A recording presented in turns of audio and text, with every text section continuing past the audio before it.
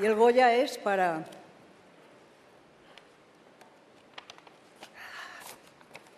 Natalia de Molina. En 2014 la vimos subir a este mismo escenario, a por su primer Goya como actriz revelación por su papel en Vivir es fácil con los ojos cerrados. La revelación de hace dos años se confirma por tanto y alcanza el Goya protagonista por esa estupenda interpretación de Rocío, una joven madre soltera que tiene que buscarse la vida para garantizar la educación, la comida y la vivienda de su hijo de 8 años, como ella misma dice, una ficción tristemente inspirada en hechos reales, porque hay muchas Rocíos en la vida real. Madre mía, esto, esto de verdad. O sea, no sé, digo, que me están pasando cosas como de película y además que hay muchas cámaras, un reparto de lujo, no sé, o sea, es increíble. Yo ya estaba contenta porque iba a ver en persona a Juliette Binoche, o sea, y a Tim Robin, claro, y a todos, pero... Fua, Juliette, eh, Penélope, Inma, es que me sale una reverencia.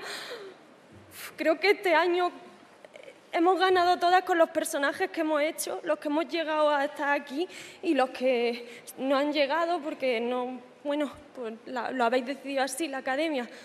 Eh, creo que, que el cine también gana cuando se le da más espacio a las mujeres, que somos muchas, somos la mitad.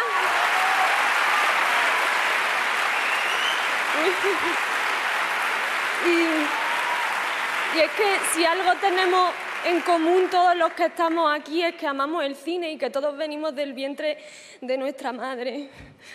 Mamá, mamá, joder, todavía me acuerdo cuando te llamé por teléfono, cuando estaba en el AVE, llorando, asustada, con muchísimo miedo, porque mm, me daba miedo no estar a la altura de lo que sabía que tenía entre las manos. Gracias porque te debo mi vida y porque para mí tú eres mi rocío. Te quiero muchísimo, mamá.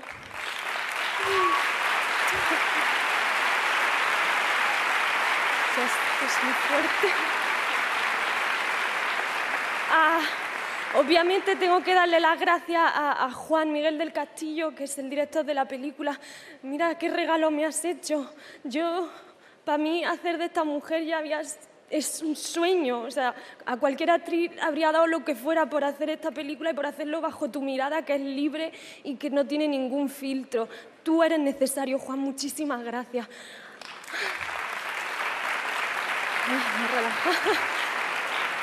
Esto es muy fuerte. Espera que quiero... Bueno, eh... Perdón, es que es muy fuerte a los productores de la película, a toda la gente del equipo, a los actores, a Mariana, a Jaime, mi niño, que sin el Rocío no sería la misma, a, la gente que ha sido mecena en la película, a, a, Jerez y al barrio de la Granja, que ahora mismo tienen que estar dando unos botes, estarán sintiéndolo, a toda la gente que sienta este premio como si...